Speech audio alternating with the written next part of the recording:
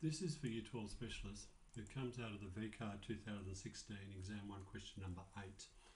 Uh, position of a body with mass 3 from a fixed origin at time when t is positive is given by that particular rule and that's r.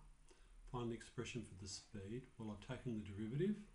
The speed is the magnitude of the velocity so it's going to equal this and it's a general rule because it's at any time t and part B, find the speed of the body when t equals pi on 12. So into this, I substitute pi on 12, and that gives me this, which gives root 31 as being um, the speed in meters per second. Okay, part C says find the maximum magnitude of the net force. So I need the acceleration. Acceleration, so the acceleration will be the derivative of velocity. So 2 times 6 will be negative 12 sine of 2t in the i plus 2 times 4, 8 cos of 2t in the j.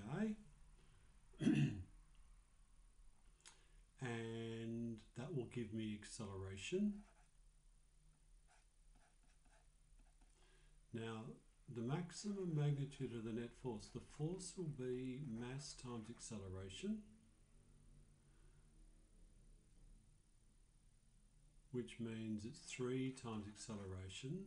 So the force will be 3 times this, so minus 36 sine of 2t in the i plus 24 cos of 2t in the j. And I'm looking for the largest excel, uh, the largest magnitude, whether it's positive or negative. Now what I do know is that um,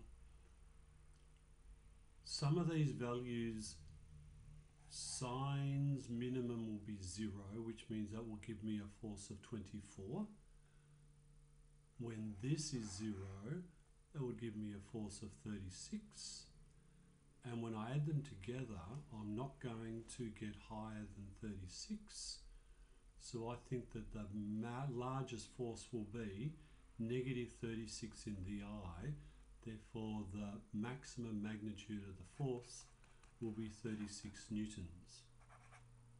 And that will occur when the sine of 2t is equal to 1.